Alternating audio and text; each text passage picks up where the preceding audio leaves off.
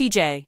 Holmes talks about his dry January and shares his nickname with Amy Robach. Amy Robach, TJ, Holmes' girlfriend, has been motivated to set a new fitness goal for January by him. Along with training and running marathons together, the couple and their former coworkers have long been supportive of one another. This January, they are participating in Dry January, a campaign that involves giving up alcohol for the whole month. Amy Robach said on Thursday's iHeartRadio podcast episode of Amy and TJ that she is doing the well like January Dry January for the first time. Robes, as his girlfriend is called, is doing this for the first time ever in the new year, added Holmes. A lot of people do dry January, you're doing it for the first time.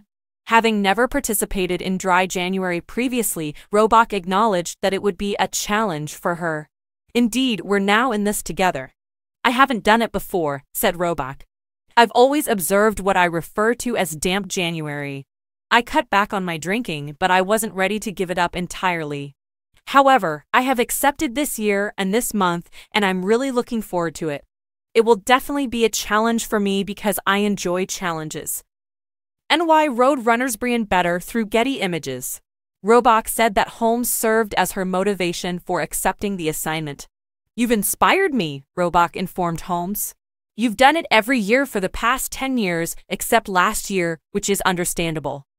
The couple's affair was thrust into the spotlight last January when information about Robach and Holmes' personal relationship was released.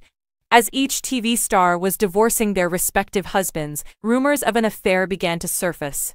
They have insisted that when they got together, they weren't with their prior relationships. Why? Holmes teasingly said, What was different about last January? According to Robach, January was difficult. When word of Holmes and Robach's connection leaked out in January, ABC formally fired them. Two months later, Robach and Andrew Shue officially divorced, and in October, Holmes and Marilee Fiebig called it quits. Since then, rumors have surfaced suggesting that Shue and Fiebig have been dating. Robach and Holmes have spoken candidly about their trying experience from January of last year. In their inaugural podcast episode, Robach talked about the terrifying encounter she had while checking on Holmes' welfare.